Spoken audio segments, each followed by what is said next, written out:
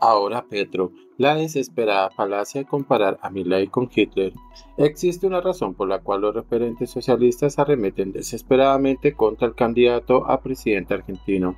Él ataca el núcleo central de las premisas socialistas por Marcelo Duclos para Parampos. La costumbre de decir a Hitler a quien cuestione medianamente a la izquierda no es nueva.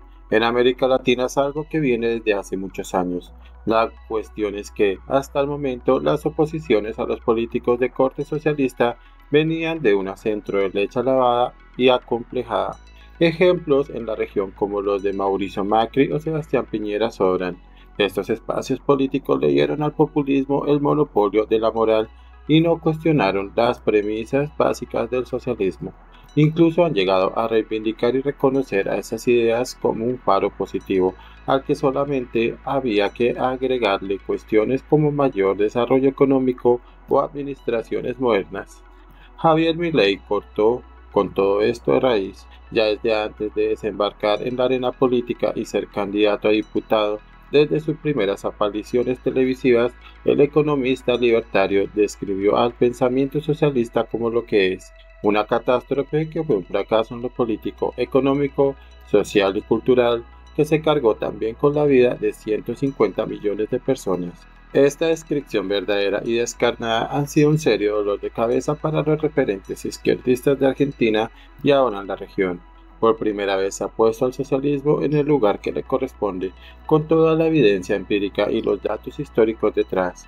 Muchos políticos quedaron desorientados hasta este cambio rival en un escenario que dio un vuelco de la noche a la mañana.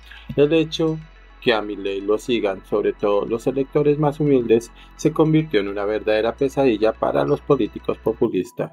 En el marco de una entrevista a un medio colombiano, el candidato a presidente argentino que lidera las encuestas volvió a referirse al socialismo como lo que es, sin pelos en la lengua, Incluso advirtió que los voceros de esa ideología son personas malas y envidiosas, que tienen problemas en aceptar que a las personas les vaya bien en un marco de competencia y economía abierta.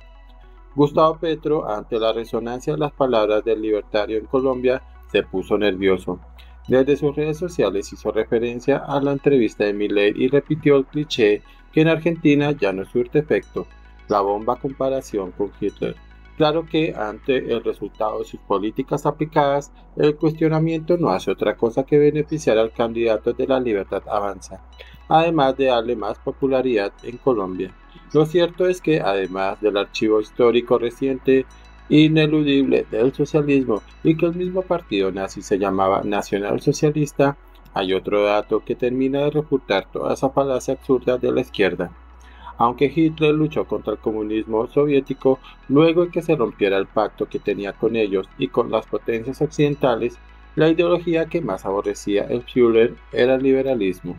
Esto no es opinión, sino que lo manifestó el líder nazi en varias oportunidades, pero en algo tenía razón Hitler. El liberalismo era la doctrina que se encontraba más en las antídopas de su nacionalsocialismo obrero alemán. Una corriente de ideas que fomenta el criterio individual, justamente lo que tenía que ser aniquilado para que se impusiera su régimen sanguinario. Luego del comentario del presidente colombiano y de la clásica falacia de comparar a Milley con Hitler, el politólogo argentino y escritor Agustín Laje le recordó que él participó de una organización guerrillera que despreció la vida humana. Javier Milley, una persona de bien que jamás mató a nadie ni integró organización criminal alguno. El chiste se cuenta solo, resaltó Laje.